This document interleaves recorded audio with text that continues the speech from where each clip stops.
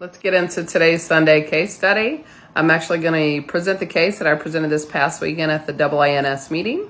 Um, but this is a 21 year old female who was a restrained passenger in an auto accident.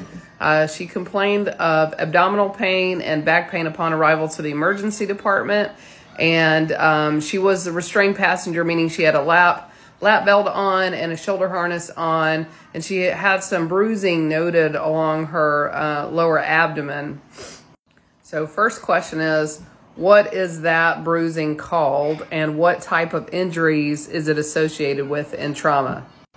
Patient underwent a trauma scan in the emergency department, which means she had a CT of her brain, CT of her cervical spine, chest, abdomen, and pelvis, which is our typical trauma workup.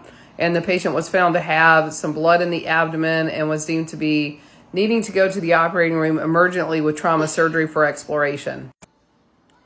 I was called about this patient's CT scan as she was going to the operating room with general surgery. So let's carefully break down this CT scan. Here you see that is the vertebral body. So want to know what's going on there. Here is looking more at the patient's facet joints. So I want to know what's going on right here.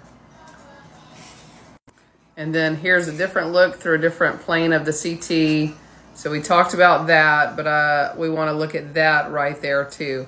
So what's going on with the patient here? So what's the diagnosis? Is this a stable or unstable injury? Meaning, does this patient need surgery or can we just put a brace on? And if you think the patient needs surgery, what type of surgery would you recommend? And last but not least, for those first responders that are watching, uh, what would you do with this patient in the field? If you see a patient that was involved in an accident and has some bruising along their lower abdomen, is complaining of back pain, complaining of abdominal pain, what would you worry about? And then what precautions would you take on the way into the hospital?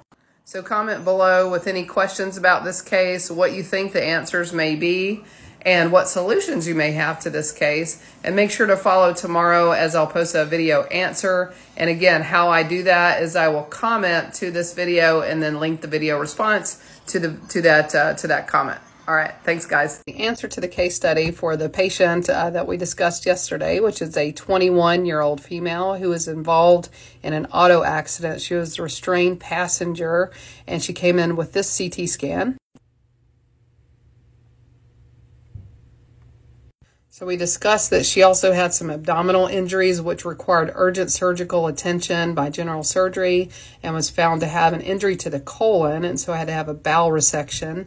Um, and I mentioned that the patient had this bruising along the lower abdomen, um, which is called the seatbelt sign, is what I was getting at. And a seatbelt sign is just an injury in which a patient's lap belt can cause them to hyperflex. So if they have a belt restraint here and they get involved in an accident where they flex forward all of a sudden, you can get a forward flexion, which can injure the bowels and the spine. There is a 25% chance of a GI injury and a 50% chance of a spinal injury uh, with that type of injury. Now, what we see on the CT scan is there is a fracture plane that starts here and goes all the way across the patient's spine and uh, is a fracture all the way across this vertebral body right here. Here is a cartoon picture of it where you see where you have a fracture plane all the way across the whole spine and this is what it looks like front to back. And that type of fracture is called a chance fracture.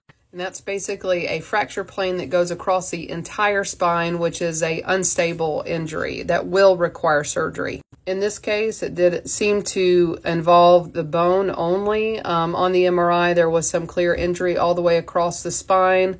Um, but in my mind, a 21 year old patient, the goal of surgery is to preserve as much motion as possible. Now, some surgeons uh, would perform a spinal fusion, um, but that would entail a L1 to L3 fusion. And in this young patient uh, that's 21 years old, fusing two segments of the spine is uh, very, um, very morbid for long term purposes of movement.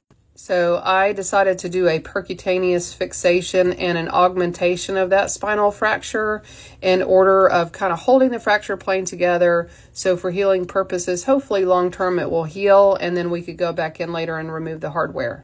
So here is what we did. We placed screws at L1 and L3 and then put this implant through a minimally invasive uh, approach into that vertebral body, which is basically just bone graft. Here you can see the before and after picture. So this is before and this is after. And really you can see that the uh, spine is kind of kyphotic or curved right here. And then over here after surgery, we obtained complete restoration of the patient's normal alignment.